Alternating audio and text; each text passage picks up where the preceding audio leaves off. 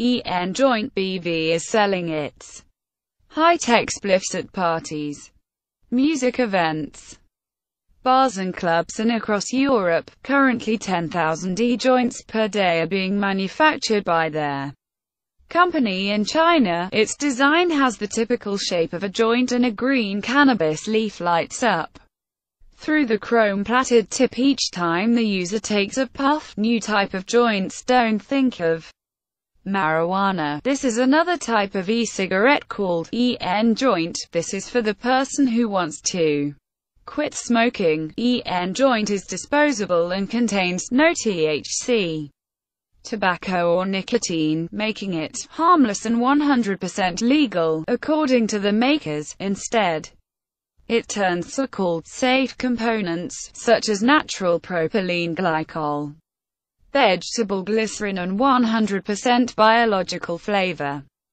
into water vapor, but other models can be smoked as real electric joints. The E-Njoint rechargeable can be filled by users with their own cannabis liquid content. The product, which comes in six different flavors including watermelon, passion fruit, green apple and red sherry, costs just over £7 per joint. The company's website which lists the outlets in Europe where you can buy e-joints, claims that smoking can be healthy, describing the E-Njoint as their the latest trend on the market.